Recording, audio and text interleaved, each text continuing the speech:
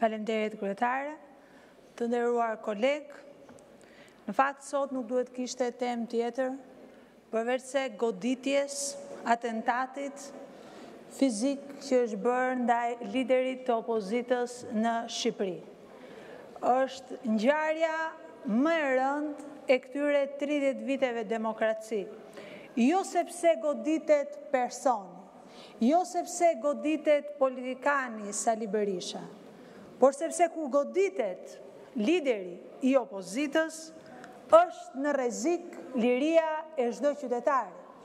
Sepse kur goditet lideri i opozitës, është në rrezik siguria e çdo qytetari. Sepse kur arrin të goditet lideri i opozitës, është në rrezik demokracia në vend. Janë në rrezik të drejtat dhe liritë tona si qytetarë. Dhe kjo është shqetësuese. Është shqetësuese për këdo që banon, jeton në Shqipëri dhe për këdo që ndoshta mendon se do t'i rrisi fëmijët në Shqipëri. Se siguria në këtë vend është zero.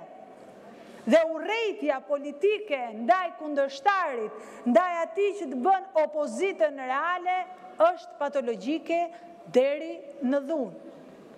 Ju tentuat të bënit gjithçka që të tregonit që kishit përballë një opozitë destruktive, që turma do t'ju merrte përpara dhe do t'ju vinte tek këngët e vallet e samitit. Kurse ne treguam që ju përballë kishit opozitën më konstruktive dhe më të vërtetë që keni pasur ndonjëherë në këto vite. Një opozitë që ju qëndroi ballë për ballë, që nuk u trëmb, që nuk ra pre e provokimeve, por që vazhdoi betejën e saj, tha të vërtetat e saj në shesh, me qytetarët, për qytetarët, tha të vërtetat që ju nuk do donit kurrë që të dëgjoheshin dhe në fakt i reflektuan të gjitha mediat ndërkombëtare. Koha është dhjetë minuta, nuk e di çfarë ndodh. Sot Me sa duket është edhe fjala e deputetit në rrezik. Sot mediat janë duke vuajtur një represion të jashtëzakonshëm nga kjo qeveri. Dua ta nis me rastin e fundit, mungon ministrja këtu, një investigim i emisionit Piranja, tregon se si fondet, paratë publike të destinuara për startup-et për inovacionin, shkojnë tek një rrjet klientelist dhe të lidhur drejtpërdrejt si rrjet merimange me vetë ministren apo me sponsorë të kësaj ministrie dhe të këtyre startup-eve. Ku shkoi lajmi? Klikoni në Youtube, nuk e gjeni, e fshiu ABC News. Kërkoni nëpër media, nuk e gjeni, e gjeni vetëm në disa portale të cilat i kanë shpëtuar censurës. Startupet, paratë që duhet të jenë për biznesin, për të rinjtë, për inovacionin në këtë vend, Jepen katër raste se si jepen me lidhje klienteliste dhe se si jepen duke shkelur ligjin në mënyrë flagrante. Dhe zhduket nga media. Medias tjetër, ndiqni strategjinë e luftës. E dini kush është strategjia e luftës?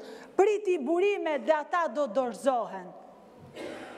Dhe këtë keni bërë me News 24. Po mundoheni t'i prisni burimet pronarit në mënyrë të tillë që në fund të dorëzohet. E filluat në shtator me pishinën dhe u kujtuat tre muaj më brapa që paska edhe hotelin pa leje. Nuk e patë në shtator, nuk e dinit. Jo, Nuk është kjo e vërteta. E vërteta është që në shtator i bëtë paralajmërimin e parë. Reago se të kemi ardh te dera, po të prishim vetëm pishinat. Në fakt, ai nuk reagoi siç donit ju ta kthente në RTV dy. Por vazhdoi, tha të vërtetën, vazhdoi, tha interesin e qytetarëve. Dhe i erdhi radha hotelit. Dhe kështu me strategjinë tuaj të luftës, E cila është, priti burimet dhe ata do të dorëzohen vetë. Kjo është strategjia që po ndiqni me median të cilën nuk po arrini dot ta bleni me metodat tradicionale tuajat. Nga ana tjetër dihet që keni nisur një sulm dixhital prej hakerat tuaj për të hakeruar faqen e një televizioni dhe një portali. i cili llogariste gjashtëqind e pesëdhjetë mijë ndjekës, siç ishte Syri Televizion. Keni konfiskuar dhe ushtroni presion ndaj pronarëve të Ora News dhe Televizionit Ora dhe jeni në prag të një gjyqi në arbitrazh, siç e humbëm me televizionin Agon Channel. Pra, gjithçka për të kontrolluar informacionin që marrin qytetarët. Gjithçka për të mbyllur gojën. Kur në Komisionin e Medias, anëtare të cilës jam, kemi kërkuar që në shtator që të bëjmë dëgjesë me gazetarët, me pronarët apo me kryeredaktorët e grupit mediatik Fokus Media, A e dini kush ka qenë përgjigjja e nënkryetares të komisionit? Do t'i çojmë shkresa që të na sjellin përgjigje. Jemi në dhjetor dhe nuk pranojnë t'i dërgojnë as shkresën që kanë thënë vetë që do t'ua dërgojnë. Dhe i çojnë vetëm shkresë IKMT-së. Se ç'punë ka Komisioni i Medias që t'i çojë shkresë vetëm IKMT-së dhe mos pranojë t'i çojë shkresë medias e cila është goditur për t'u pyetur dhe për t'u dëgjuar, këtë, Vetëm një Zot e di dhe ju që merrni urdhra politike që t'i mbyllni gojën edhe atyre gazetarëve të lirë. Ndërkohë emisionet po mbyllen në ABC News, ato që nuk ndjekin linjën tradicionale të ERTV-së, ato që nuk marrin SMS-të nga Agjencia që paguajmë ne, agjencia e Endri Fugës, e paguajnë qytetarët shqiptarë dhe është në shërbim të propagandës qeveritare, ky është realiteti.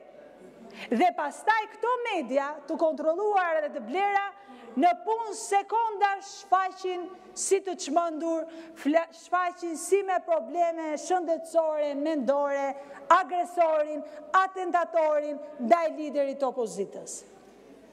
Sepse janë ato media që ju i kontrolloni me SMS. Janë ato media që ju i keni në xhep dhe që ia u çoni në WhatsApp se çfarë duhet nxjerri dhe kur duhet ta nxjerri. Kishin mediat një informacion se kush ishte, çfarë bënte, ku ishte raporti dhe si duhet ishte strategjia e mbrojtjes për atentatin ndaj liderit të opozitës. Një arsye më shumë për të vërtetuar që mbrapa kësaj jeni ju, jeni jo vetëm frymëzuesit e dhunës, por dhe hartuesit e një plani të mirëfilltë se si të provokonit opozitën në ditën e samitit ndërkombëtar për t'i mbyllur gojën dhe për të trëmbur siç e mendonit ju opozitarët dhe qytetarët shqiptarë që protestonin aty me thirrjen e viteve një mijë e nëntëqind e nëntëdhjetë, E duam Shqipërinë si gjithë Europa. Sepse sot, fatkeqësisht, jemi shumë larg Europës. Dhe pse ne flasim për standarde europiane, juve me të dyja këmbët në mënyrë të përsëritshme shkelni marrëveshjen e Stabilizim Asociimit. Në mënyrë të përsëritur shkelni konventat ndërkombëtare. Rasti i fundit për të cilën fatkeqësisht nuk na mjafton koha është rasti i aeroportit të Vlorës.